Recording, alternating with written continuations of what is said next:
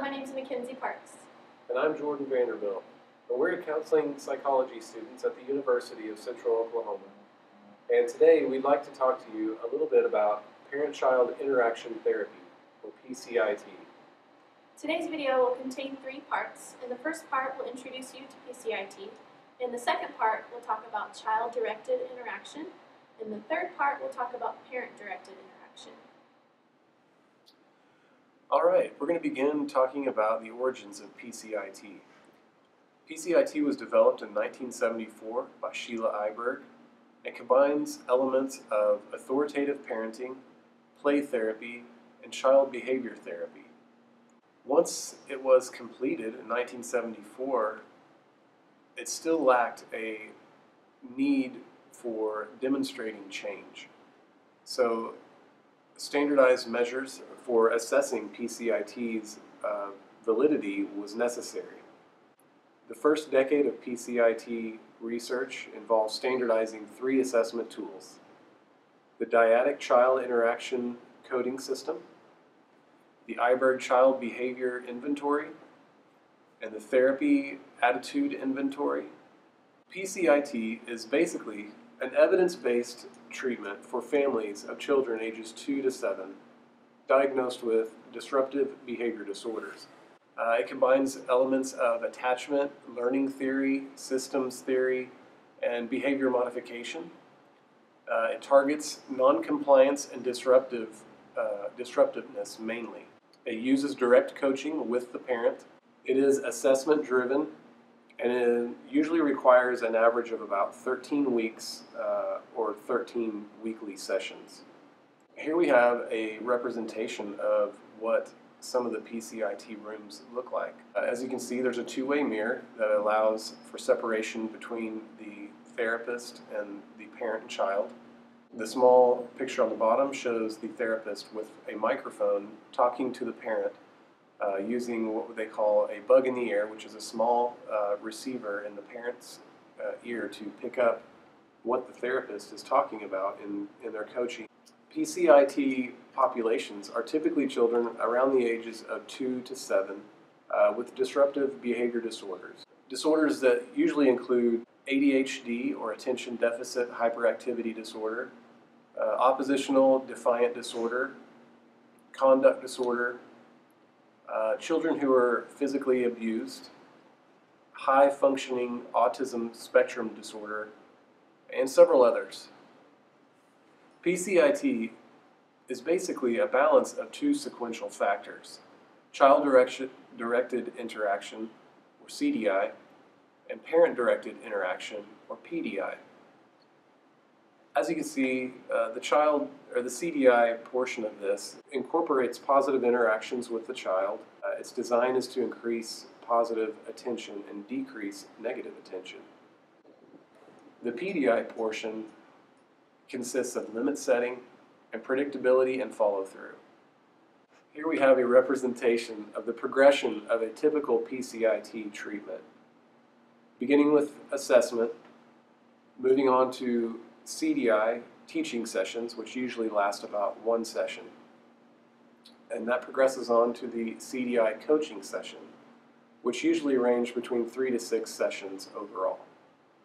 After that, once the parent has graduated from the CDI portion, they move to the parent-directed interaction uh, teaching session. And that usually also lasts about one session. Uh, and from there, they begin learning how to use the PDI uh, element as well as the CDI element in, in unison. Uh, the coaching session of the PDI uh, is usually between four to six. It's a little bit more advanced and sometimes requires a little bit longer to, uh, to really be able to do both.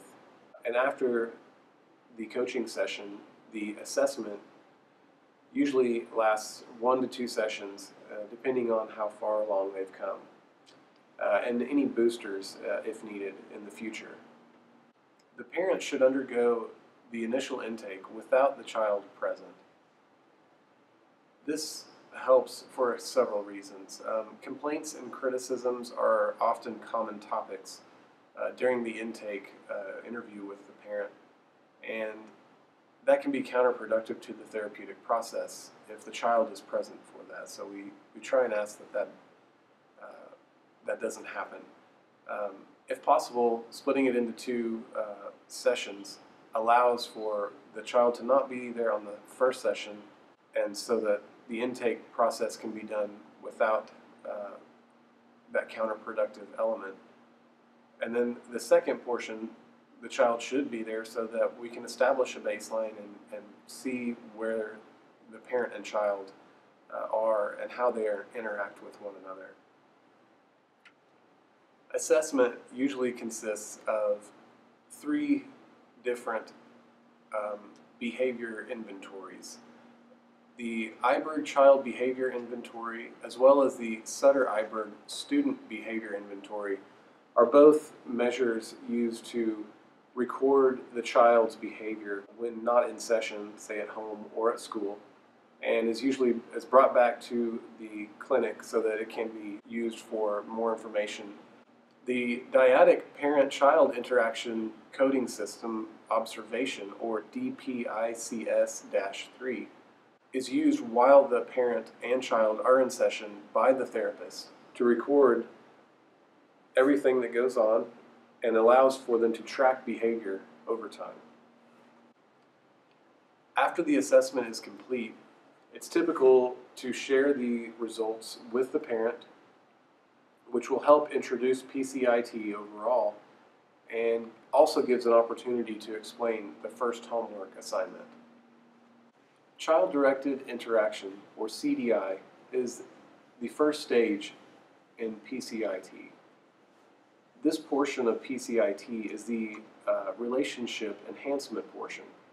Uh, it uses direct coaching, focuses on giving positive attention to their child's positive behaviors during play helps to build a more solid attachment uh, with the child. And overall, the basic rule of CDI is to follow the child's lead. The steps for teaching CDI uh, progress from the more easily attained to the more difficult. Beginning with a review of the homework, this will be consistent for every session. A special time daily practice, uh, which allows the parent and the therapist to kind of go over what that could consist of at home. The do skills, the don't skills, strategic attention, tactical ignoring, modeling skills, coaching the parents in a role play scenario, and then assigning a new homework. Special time uh, is a time for the parents to have with their child at home uh, for about five minutes. And this seems like a short amount of time, but when it's listed or talked about as a special time, even five minutes is actually a very good uh, way to show the child that the parent wants to spend time with them and can actually be used as a positive reinforcer. This five minute special time is often talked about with the therapist to determine uh, a specific place maybe uh, what to do during the five minute special time. But essentially, it's a time to practice the CDI skills uh, at home while uh, between sessions. When teaching the CDI do skills, we often use a acronym to help the parents remember the different terms that follow for the do skills. Uh, and we use the acronym PRIDE, which represents praising the child's behavior, reflecting the child's statements and imitating, uh, describing the child's play, and using enthusiasm. Unfortunately, for teaching the CDI don't skills, there's not a very good acronym like the PRIDE acronym for the don't skills. However, they do consist of leading the play, giving commands, asking questions, and criticizing. Strategic attention is essentially focusing on the child's good behaviors and making it known that those are behaviors that are desired using enthusiasm. Uh, again, back to the do, the do skills. Uh, this could consist of playing quietly, sharing, taking turns, Essentially, we want to try and uh, catch the child being good. Tactical ignoring is basically the opposite of that. Parents should identify what child's behaviors or qualities that they would like to see diminished. And in doing so, they should tactically ignore these behaviors. Uh, such behaviors can be whining, talking back, nagging, and so on. Some behaviors, however, cannot be ignored, mainly because they may pose a danger to the child or others, uh, such as standing on top of furniture, throwing or breaking toys, uh, banging on an observation room window, uh, or hitting or biting uh, a parent. Oftentimes, therapists utilize modeling of the skills and using role play scenarios with the parent and child. Therapists will briefly demonstrate and describe the CDI skills as they demonstrate it. This allows the parent to really see for themselves exactly what we're expecting of them uh, in these CDI skills. Uh, sometimes, if that's not a possibility, a video segment can uh, display uh, how to do some of the specific modeling uh, of these skills. A role play can consist of one therapist acting as the child and another as the coach while the parent plays themselves, essentially. Uh, two brief uh, role plays of about two minutes each are recommended uh, to help the parent really try and understand and, and have a good understanding of uh, what is expected of them. Homework assignments, again, consist of the five minute special time at home. Uh, this is a continuous homework assignment that we ask of the parents throughout the entire session, uh, the CDI session as well as the, the PDI. Uh, because these will build on each other, we want them to practice these as often as possible. Uh, the homework assignment will usually come with a homework recording sheet. The CDI homework sheet identifies uh, what was done on which day, uh, how long they were able to spend doing that, and any problems that may have arisen during the five minute special time at home.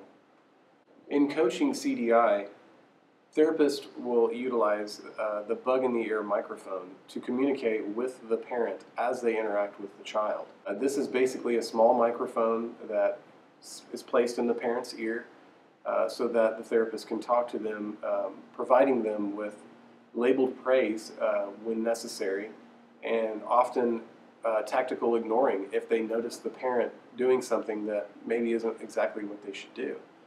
Um, essentially, therapists will utilize and model the same methods that they ask of the parent during the coaching session. Uh, again, using the strategic attention when the parent does something uh, that they would like to see more often, and tactical ignoring if the parent displays behavior that they don't want to see uh, anymore. Uh, and also, the parents are asked to avoid criticism and and give labeled praise to any positive behaviors that they uh, witness in the parent. This helps build rapport uh, and it models the CDI skills that we are asking of the parents. A CDI coaching session follows four different steps, beginning with a check in and review of the homework, this usually lasts about 10 minutes or so. And then we have the coding of the CDI skills. This is a five minute portion of time that the therapist will code the parent without actually interacting using the bug in the ear microphone. After that, the coaching begins and usually lasts around 35 minutes. And this is where the bug in the ear microphone is utilized the, for the parent so that the therapist can help coach the parent through all the different uh, elements that they uh, run into in that 35 minute period. And closes with feedback on progress and homework assignments, which usually lasts about 10 minutes. Coaching of the CDI skills usually begins with a check in and homework review. This allows the parent to address the therapist about any questions that they may have come across. The check in should also include a review of the do and don't skills. Therapists should expect noncompliance with homework, but be proactive about problem solving these issues. So it's likely that at the beginning, especially, parents won't fully comply with the homework. But the more that you can identify that this will be a reward uh, for the child in the future, as long as they continue to establish it, uh, the more they'll likely understand its benefit and its necessity. Coding of the CDI skills is used at the beginning of each session and is the five minute special time while in session using the DPICS3 form. The coding of the CDI skills is the first five minutes of each session and allows the parent to track the progress uh, between sessions and also allows us to track their progress to see once to see if they've acquired mastery uh, of the CDI skills. This this mastery uh, acquisition of the CDI skills will ultimately lead the parent into the next phase or PDI. In coaching the CDI skills, therapists typically, typically start with the easier, uh, more attainable skills and progress on to the more difficult. And at the beginning of these sessions, you also, as a therapist, want to be a little bit more directive, eventually progress to a less directive approach. A good way to help a parent uh, who may be needing a little bit of understanding about something that they could fix or correct or maybe do a little better, it's often good to use what we call a feedback sandwich. A nice slice of labeled praise, followed by a small, delicate suggestion of what they could do better, and then follows with another healthy slice of labeled praise, hence the name feedback sandwich. The homework assignment is usually the last part of each coaching session, and again, typically consists of a five minute special time uh, each day uh, that the parent spends with the child to practice the CDI skills.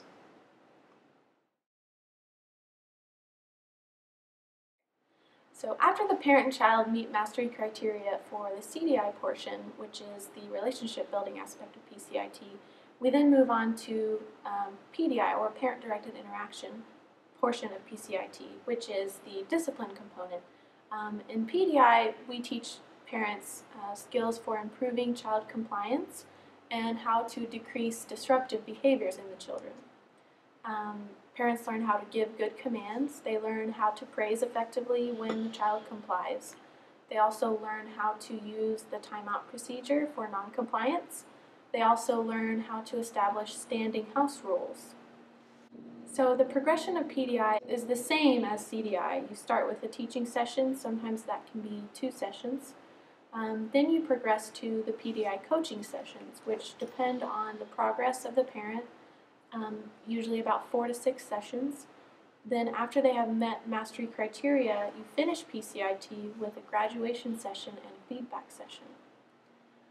Sometimes parents wonder why compliance is good for their children to learn. Um, we teach parents that the benefit of compliance reaches many aspects of the child's life as well as the parent's life. Um, compliance leads to good socialization skills in children, so they have an easier time adjusting when they get into school. Um, this, this treatment is for preschool age children, so they are right around the age where they're learning socialization skills to follow directions in school, to obey the teacher. It also helps children learn how to complete self-help tasks by themselves. So things like hygiene tasks, brushing teeth, uh, putting on their clothes by themselves, learning how to tie their shoes, putting things away, um, a lot of times when children have behavior problems, parents will just do these things for the child instead of having the child learn how to do them themselves. It also helps them uh, reduce their anxiety. A lot of people think that children have um, a tendency to want to run the show because it's, uh, it reduces their anxiety. Um, when in fact, running the show actually produces more anxiety for children because uh, according to PCIT therapists, children um, need structure and they need safety and they need people to rely on that they know will always keep them safe and there is structure. So running the show for children is actually anxiety provoking and learning to comply will decrease that anxiety. children need structure, as I said before, and structure to PCIT therapists is comprised of consistency, predictability, and follow through. These components are necessary for providing structure within the PCIT format. Um, consistency is providing the same commands the same way on a good day as you did on a bad day, and vice versa. Predictability is always providing the same um, consequences for behavior on a good day than on a bad day. Follow through is always giving the same um, co- consequence procedure um, on a good day as you did on a bad day. A lot of parents wonder why we should use the manual's exact wording. Within PCIT, the discipline procedures are taught as exact wording, and the parents are taught to memorize these consequences and the timeout procedure, and, and all of the procedures taught are in exact wording. And we tell parents because it adds to that predictability uh, component of PDI. Um, each time the child receives a timeout warning or receives some sort of consequence, they learn very quickly that it will be the same no matter how they behave. Even if it's uh, a different version of noncompliance or disruptive behavior, it will always be followed through with the same consequence. So, in order to do that, we have to have the parents learn to memorize the exact wording. Um, it also avoids the parent adding extra emotion into their commands and into their responses to their children, um, like raising their voice or adding extra words like saying, Didn't you hear what I said? Um, using the exact wording of the manual avoids that, which a lot of parents don't know that they're doing. In the PDI teaching sessions, parents learn how to give commands, they learn what obeying and disobeying look like behaviorally, they learn what to do when the child complies and what to do when the child does not comply. They also learn backups for uh, when the timeout procedure doesn't work for noncompliance. And then after they are taught all of those skills, we then practice in session with role plays with the therapist. The first step of the PDI teaching session is explaining the use of compliance exercises. Um, so PCIT therapists view problem behaviors as falling into two categories primarily, noncompliance and disruptiveness. Noncompliance is refusing to do what you're told to do. Disruptiveness is doing things you're told not to do. So the first part of PDI that we address is noncompliance um, because we can't address disruptive behavior if the child doesn't know how to comply with a command. So the second step of the PDI teaching session is teaching parents how to give effective instructions or commands. The first rule is giving direct rather than indirect commands. The second rule is positively stated commands. Third, giving one command at a time. Fourth, specific commands rather than vague. Fifth, age appropriate commands. Sixth, given politely and respectfully. Seventh, explained before they are given or after they are given. Eight, used only when necessary. The third step of the PDI teaching session is teaching parents how to determine if their child has obeyed. So we discuss with parents what compliance looks like and what non-compliance looks like behaviorally in their children. So compliance is completing the requested behavior. So if the command is, please hand me that red block, and the child places the red block in your hand, that is considered compliance. If the child hands you the red block with a bad attitude, so if they hand it to you while saying, fine, that's still considered compliance because the child completed the behavior. If the child does something called undoing, that's still considered compliance, and what that is, is you say, please hand me the red block, the child puts the red block in your hand, then waits a second and then takes it back, that's what we call undoing, and that's still considered compliance because they literally completed the command that you requested. Um, sometimes children will overdo the command. They might hand you a mound of red blocks. That is still considered a compliance. Um, sometimes children will comply um, after you give them a visual cue, but only after partial compliance. For example, if you say, please hand me that red block, and you point to your hand, and the child pushes the red block closer to you, that's considered partial compliance. And if you give them a visual cue by pointing to the block and pointing to your hand, and then the child places the block in your hand, that's considered compliance. Now, if the child does not place the block in your hand after you give the visual cue, that's considered non-compliance. Other examples of non-compliance include doing something slightly differently than the parent's request. So if you say, please hand me the red block, and the child scoots it close to you but doesn't hand it to you, that's considered non-compliance. If they do something called dawdling, which is basically a child's version of stalling, so if you say, please hand me that red block, and the child picks it up and says, let's pretend it's a helicopter, and races around the room first before handing it to you, that's considered non-compliance.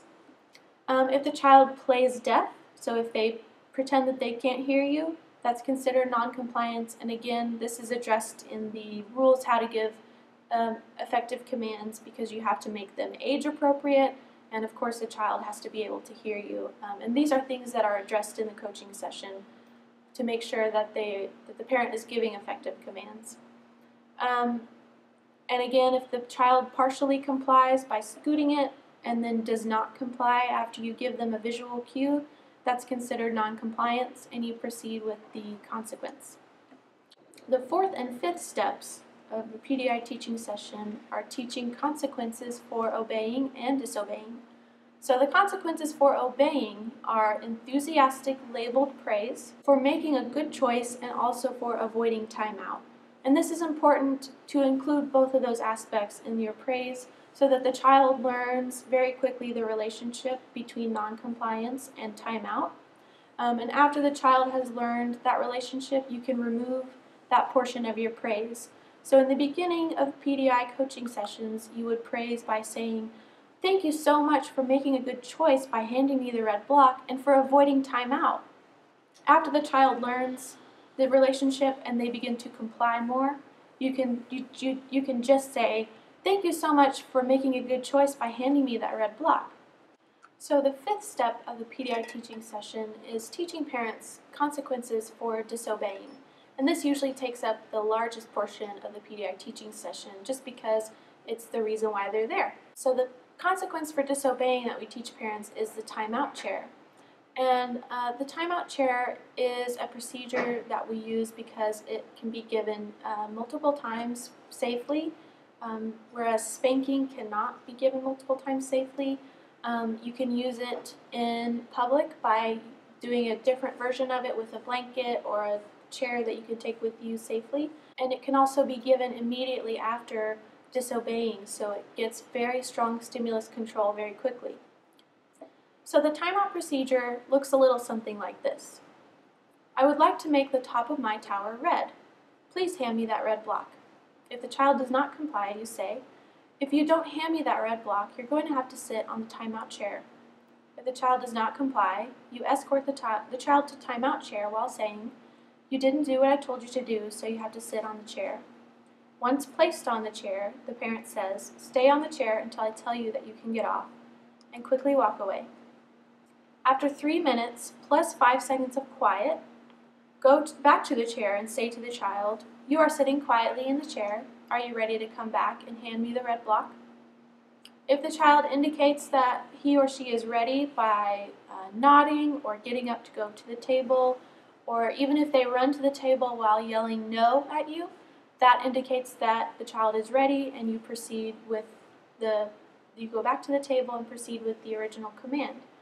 Although you do not repeat the command because you just repeated it by asking if the child was ready to go back to the table and hand you the red block. So instead, you go back to the table and point to the red block while pointing to your hand. So you give them a visual cue. After they give you the red block, you Simply acknowledge by saying okay or a very simple thank you instead of enthusiastic labeled praise. Um, and the reason for that is because we want the child to learn that when they eventually comply, they only get a very simple acknowledgement rather than praise. But if the child initially complies, they get very enthusiastic labeled praise, and that attention is reinforcing for the child. So we want the child to learn the difference between initial compliance and eventual compliance.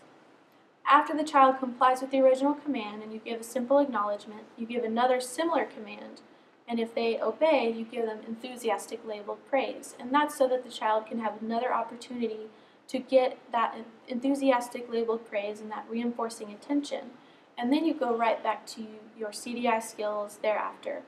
And that's so that we can keep the relationship skills built, we can keep the interactions with the parent and child positive and reinforcing for both parties involved. So a lot of parents have a lot of questions about timeout issues that may come up. Um, the first one is what if the child refuses to walk to the timeout chair? And this is very common with children with disruptive behavior problems. So what we use is what's called the barrel carry. You wrap your arms around the child's chest with their arms free and you stand up. The child's back should be against your chest and their arms and legs should not be contained. And you quickly walk to the timeout chair. Now the reason why we don't keep their arms tucked in is because the child can hurt themselves very easily um, they can feel very constricted and can start to panic, and it can become uh, traumatizing to children. So we simply pick them up by their chest, firmly but gently carry them to the chair and set them down. Um, and parents are instructed to ignore all verbalizations and ignore all strikes that the child might do. Um, and this is because any attention given to that behavior, even if it's painful for the parent, reinforces that behavior. The second question that parents have is what if the child breaks the five seconds of silence? And if the child does not maintain silent behavior for five seconds, you simply restart the five second count, not the three minute count. What if the child complies after the first few words of the warning? So if you give the child the, the command, please hand me the red block, the child does not comply, and you say, if you do not hand me the red block, you will have to go to timeout, but before you can finish, the child hands you the red block. You finish the warning and then enthusiastically praise the compliance. And this is so that we can teach the child the relationship between um, complying in the middle of a warning. You're still going to you're still going to get that very boring, very predictable warning, but you'll still get praise. So if the child complies after the warning is started, we want to give them that very boring and predictable warning as a slight punishment for not complying originally. What if the child agrees to comply on the way to timeout? If the child agrees to comply while you stand up and try to escort them to the timeout chair, you still follow through with the procedure. You still say, you didn't do what I told you to do quickly enough, so now you have to go to the timeout chair. And this is so that the child still receives that very predictable, consistent follow through with noncompliance. Um, and if you do let the child comply on the way to timeout and you don't follow through with the timeout procedure, then the child learns that he doesn't need to comply until you stand up or until you give the timeout warning. So we want the child to learn to comply with the initial command instead of complying when the parent stands up. If a child takes a toy to timeout, you quickly remove the toy from the child's hands without acknowledging it. If you verbally acknowledge the toy in the child's hand, the child receives that as reinforcing attention, and they will likely do it every time. What if the child puts himself in timeout chair instead of complying with the command? Sometimes children will take control of the timeout procedure by putting themselves in the timeout chair first before the parent can do it.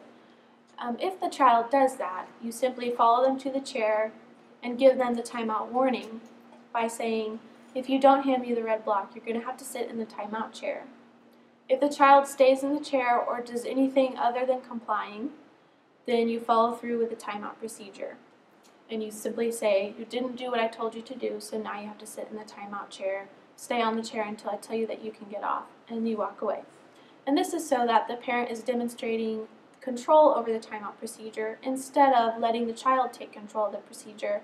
And timeout becomes less fun for the child, and you're removing the reinforcement from that procedure and you're making it a punishment. Which behaviors should parents ignore and not ignore? Parents should ignore the child verbalizing any and all verbalizations. Um, they should ignore bathroom requests, and if the child is potty training or even if they're past potty training age, it's encouraged for parents to take children to the restroom before every session. This includes homework sessions at home that they do together. And that is to avoid the risk of uh, the child actually needing to go to the bathroom um, so that the parent is comfortable ignoring bathroom requests because oftentimes they can be attention seeking behaviors. Um, parents are told to ignore um, and avoid direct eye contact with the child while still being able to watch the child out of their peripherals. Um, behaviors that parents cannot ignore are timeout escape. If the child gets out of the chair, we cannot ignore that. Um, and that procedure, the, the backup procedure to that is taught um, later in the teaching session. Um, parents cannot ignore scooting or vigorous uh, rocking of the timeout chair, and this is simply because it's dangerous and also because it can become very reinforcing to children. It can become uh, a game, and then timeout can become fun. Um, parents cannot ignore standing on the chair. Um, a lot of times toddlers will do this, but we have to make sure that they are safe and we follow through with a backup to the timeout procedure. So the sixth step of the PDI teaching session is teaching parents what to do when the timeout chair procedure doesn't work. So backups for the timeout procedure are the timeout room or the swoop and go technique. The timeout room is a separate room um, with no stimulation or attention. A lot of times in therapy rooms, um, this can be a small, about five by five attached room that has access to the therapy playroom as well as the observation room where the therapist uh, watches. And there shouldn't be any electrical outlets, there shouldn't be any uh, pictures, no toys, um, no stimulation or attention for the child. And when the child is taken to the timeout room, they are, they are to stay there for one minute plus five seconds of quiet. And then after that, they're taken back to the timeout chair and they have to stay in the timeout chair for the three minutes plus five seconds required time. The swoop and go technique is similar, but if you don't have a timeout room, you use this technique instead. Um, and instead of taking the child to a different room, you quickly swoop all the toys up into a bucket or a bag and you quickly leave the room. The child is to stay in the playroom uh, the same time as the timeout room for one minute plus five seconds of quiet. And then after that, you come back into the room and take them back to the timeout chair for the three minutes plus five seconds. So the timeout room procedure um, looks a little bit some, something like this. If the child escapes the chair, you bring the child back to the chair saying, You got off the chair before I said you could get off. If you get off the chair again, you will have to go to the timeout room. Stay here until I tell you that you can get off. And this warning is a once in a lifetime warning. This warning is only given the first time the child gets off the chair. And that is so that the child quickly learns that when they get out of the chair, they will immediately go to the timeout room instead of getting that warning, which might be reinforcing the behavior. So you give the warning, and then you begin the three minute timing again. If the child escapes again, you say, You got off the chair before I said you could, so you have to go to the timeout room and then you bring the timeout the child to the timeout room or you do the swoop and go technique and you begin the one timing the one minute timing. After the one minute plus five seconds of quiet take the child back to the timeout chair and say stay on the chair until i tell you that you can get off. Then you begin the three minute timing plus five seconds of quiet. This procedure is repeated until the child stays on the chair for three minutes plus five seconds um, and the swoop and go technique is the same. You just say, instead of saying you're going to have to go to the timeout room, you say, I will have to take the toys and wait outside. So the last step of the PDI teaching session is coaching parents as they role play the discipline skills. So you role play the timeout procedure, you role play the timeout room and the timeout chair. Um, and it's important that the therapist tells the parents not to use the timeout procedure before the next session and this is very important so that the parent doesn't use the timeout procedure incorrectly at home and set in some patterns that may be really hard to undo later on. So you tell the parents, do not use the timeout procedure until we practice it together with the child in the coaching sessions. So the homework for the PDI teaching session is to review the PDI handouts, and the parents are given all this information in written form, and they're told to review it all and to try to memorize all of the warnings and the sayings. Um, and they're also to do the CDI homework, the continuing the special time with their child, um, every day so that they can keep that relationship very strong, keep it a positive interaction, because we can't use the parent's attention as a reinforcement if it's not still fun for the child. So we really encourage that CDI homework. So after the PDI teaching session, we move on to the PDI coaching sessions. And like I said before, these are usually about four to six one hour sessions, depending on the progress of the parent. The PDI coaching sessions are basically a session long of doing the CDI skills with punctuated by moments of command sequences. So what we teach in these PDI coaching sessions is how to give commands and how to follow through with those consequences that we had talked about in the teaching session. And then after each command, we go back to the CDI skills so that the interaction is maintained positively and the child actually enjoys their time with their parent as well as the parent enjoying the time. The PDI coaching sessions are broken up into about five segments. The first, very similar to the CDI coaching sessions, the first is check-in and homework review. It's about 10 minutes. Um, the second is the coding of the CDI skills, and we do code the CDI skills throughout uh, PCIT. And this is just so that we can make sure that the parents are maintaining those skills and maintaining the mastery of those skills. And then we move on to coding of PDI skills, and each of these coding segments are about five minutes. Um, the coding of the PDI skills is not done in the first PDI coaching session, and this is because the parents haven't had a chance to practice those skills that they had just learned, so we don't score them on them in that first coaching session.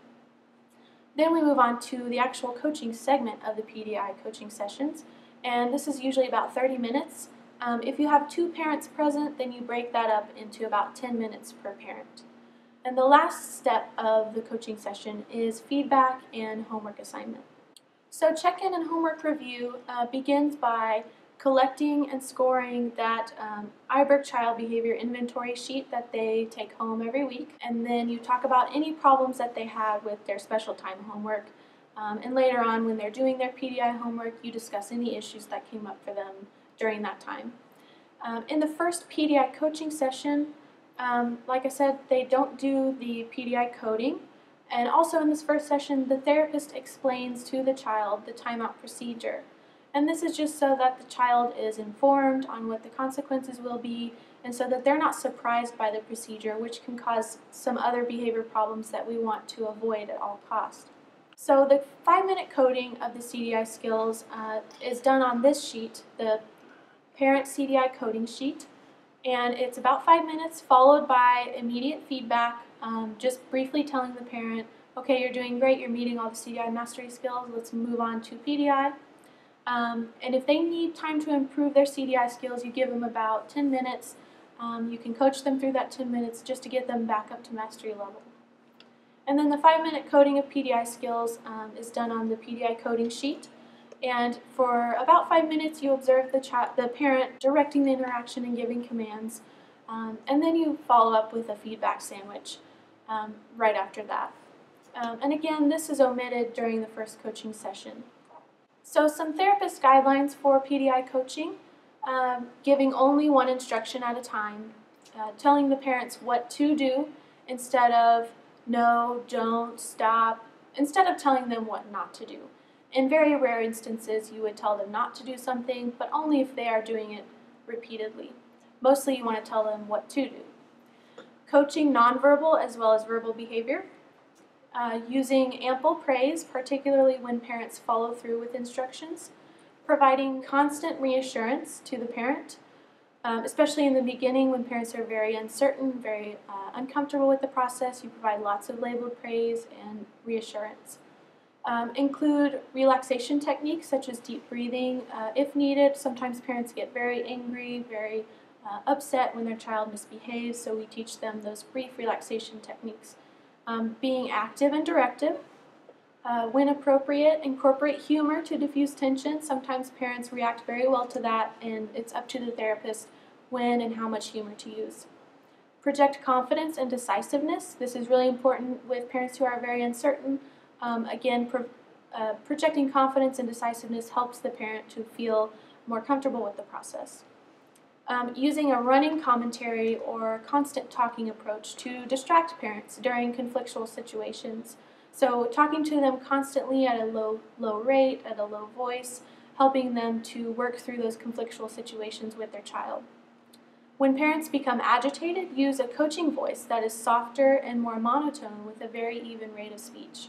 And again, this is to coach them through those situations where they might start to become upset or start to become reactive to their child.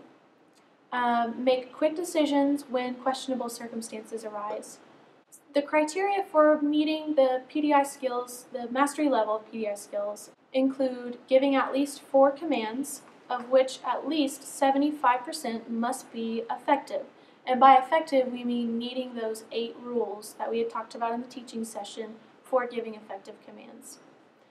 Um, the second criteria is showing at least 75% correct follow through after effective commands. So, labeled praise after obeying and giving the timeout warning after disobeying. The third mastery criteria if the child requires a timeout that begins during the observation period, the five minute observation period, the parent must successfully follow through with the PDI procedure, with the timeout procedure. And if the, if the child doesn't give the parent an opportunity to demonstrate the timeout procedure correctly, then the parent can do a role play with the therapist to demonstrate those skills. The last uh, portion of the coaching session is debriefing and homework assignment. So, for about 10 minutes, you do a debriefing and feedback with the parents. And this is so that you can address parent concerns, you can answer any questions that they might have, and you can also give them specific feedback using the, the PDI skills coding sheet that you had used uh, in the beginning of the session, and also if you observed anything that you wanted to talk with them about. Um, and the feedback should be very specific and it should be given in a feedback sandwich format so that the parent has not only some suggestions for improvement but also some praise for specific behaviors that they did. The homework for PDI coaching involves the 5 minute CDI special time followed immediately by 10 minutes of PDI time. And you do this in a graduated fashion. So, in the beginning of the PDI coaching sessions, during the 10 minutes of PDI, you do very simple commands. So you start with play commands, like please hand me the red block, or other commands that you can use during play situations. And then later on, during uh, other later portions of therapy, you do homework assignments like giving more boring commands or cleanup commands, things that the child uh, is less likely to want to do. Um, and the idea is to get cross-setting generalization. So you want the child to really have a lot of practice of obeying commands and getting lots of praise for obeying commands so that they can use these skills and learn to comply in other settings like school. The uh, first part of PDI coaching, when you first assign the PDI homework, looks a little bit like this. You do the, um, after you do the five minute CDI of special time, you go to the 10 minutes, and it's 10 minutes of a play situation. So for each day, you check yes or no, and you indicate whether you use the timeout chair and if there were any issues. Um, you indicate if you use the timeout room procedure and if there were any issues with that. Later on in homework, you would use the PDI with a cleanup situation or other selected situations. So you indicate yes or no if you did the cleanup after CDI. And this would look something like uh, five minutes of CDI special time, and then you go to your 10 minutes of PDI, and for that 10 minutes, you would use cleanup commands during that 10 minutes. And then you indicate if you use the timeout chair during cleanup, um, if you used other PDI commands during that time, and then if you used the timeout chair during that time, and the timeout room. So it gets a little bit more involved as PDI moves on. Towards the end of therapy, we talk about house rules with the parents. And house rules are standing rules that address the other category of problem behavior, that address disruptiveness. And again, noncompliance, which we had just addressed with the uh, PDI coaching and teaching, is refusing to do what you're told to do. So once we have compliance at a good rate, we move on to addressing disruptiveness, which is doing what you're told not to do. So house rules address disruptiveness. And a, a few examples of house rules include no jumping on the furniture, no profanity, um, dad's office is off limits, things like that that are standing house rules. So when you're establishing house rules, they should be explained to the child in advance. And they should be uh, developmentally appropriate where the child can understand and they should be adequately described in advance so the child has time to really learn and know what the standing house rule means. Um, when they disobey the house rule, they should always be given a timeout without a warning. Um, after the timeout, you should provide labeled praise for behavior that is incompatible with the behavior that broke the house rule. So, for example, if your house rule is no jumping on the bed, and you catch your child jumping on the bed, then you give them a timeout without warning. So you simply say, you are jumping on the bed, which is a house rule, so you now you have to go to the timeout chair. So after the timeout, after the child has maintained the three minutes plus five seconds in the timeout chair, you would praise something that is incompatible with that behavior. So if they're sitting on the bed now, you would say, thank you so much for sitting on the bed instead of jumping. So you provide labeled praise for a behavior that's incompatible with the behavior that broke the rule. So you should only have about two active house rules maximum. And by active, we mean house rules that are still standing because there's still a risk that they may be broken. If a house rule has been um, maintained and it hasn't been broken for a while and it's not a risk anymore, then it's not considered active. Once you have the house rules established and the child understands what they are, you incorporate that into the PDI homework. And the PDI homework sheet looks something like this. So you have PDI homework with running commands and house rules. So you indicate yes or no whether you did positive command practice. Um, you indicate if you did timeout chair for running commands or timeout chair for house rules, and if you did timeout room, and if there were any issues with any of those procedures. The criteria for graduation is the uh, Child Behavior Inventory Intensity Scale Raw Score has to be 114, and this score is basically represents how the child has been behaving at home or at school. So it's behavior outside of the clinic. Uh, the parent's CDI skills must be at mastery level, which we had talked about uh, previously. The parent's PDI skills must be at mastery level, which we also talked about previously. Parents report confidence in PCIT skills, so if the parent is still very unsure about uh, whether the skills are working or whether they can work, even if the data shows that it is working, then they're still not considered ready for graduation. So we do need parents to have that confidence in the mastery of the PCIT skills. Um, and also the family has learned and practiced house rules and public behavior procedures if they needed to. Public behavior procedures can be discussed and problem solved with the parents, um, and they can be practiced in session with the child if the parent reports that they're having problems in public with uh, problem behavior. So for graduation, the major therapeutic goals is to help parents recognize the magnitude of progress. Also to link progress to the use of these skills that they have learned. So linking progress of the child's compliance improving and their overall behavior improving, we want to link that to the specific skills that they've been practicing at home during that homework time. Um, we also, one of the goals is to increase parents' sense of competence in dealing with future problems. So we want parents to walk away from PCIT really feeling confident that they have the tools they need to address future problems as they may arise. Also for the graduation session, you want to review progress using a graph that we have been constructing during therapy um, using the ECBI or Eyberg Child Behavior Inventory scores.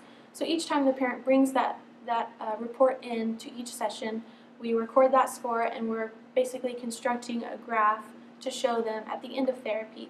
So that helps to reinforce that relationship between practicing these skills at home and the improvement of the behavior. Um, we also give a blue ribbon for the child, so we're really reinforcing that. We're really giving them a lot of praise and attention.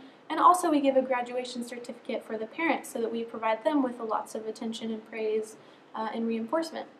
So that's all we have for you today. Thank you so much for watching our video. We hope that you enjoyed it and you learned a lot about PCIT and uh, we hope that you can use these skills in your own life and teach them to other parents in your life.